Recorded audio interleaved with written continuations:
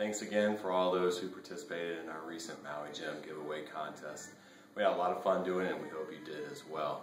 Uh, so without further ado, uh, after we calculated all the likes and shares and retweets, uh, plus ones, everything from Twitter, Facebook, Google Plus, and Instagram, uh, our winner for the Maui Jim is Ed Tuning. So congratulations, Ed. Please give us a call and we'll get you fixed up with your brand new pair of Maui Jims. Uh, thank you again, everybody, and we hope you have a good day.